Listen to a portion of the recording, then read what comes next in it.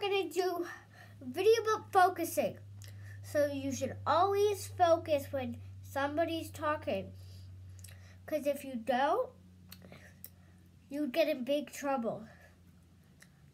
And especially if you don't follow the rules. When you have gum at school, don't chew it.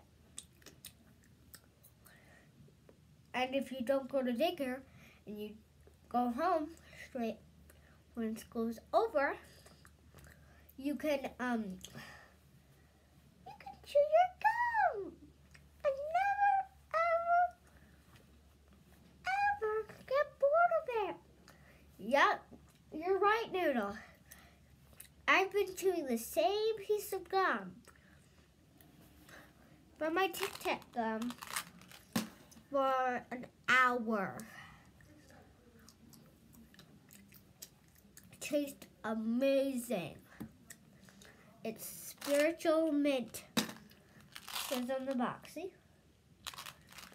So yeah. And also, I know how to play harmonica. I'll go get it. Wait five seconds while Noodle talks to you. Hey guys! Yeah. She knows how to play really good. And amazing. Yep, got it. Listen.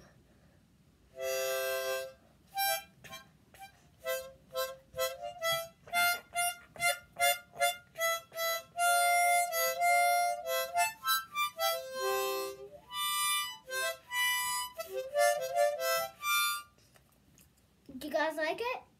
Click down below in the comments if you like it.